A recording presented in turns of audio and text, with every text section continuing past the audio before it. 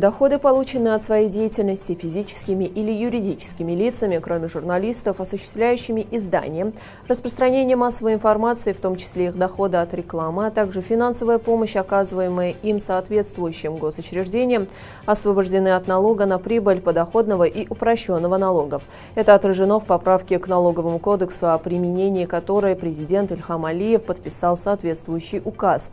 Согласно закону, освобождения будут действовать в течение трех лет, начиная начиная с 1 января 2023 года, освобождение налогов не касаются субъектов аудиовизуальных СМИ.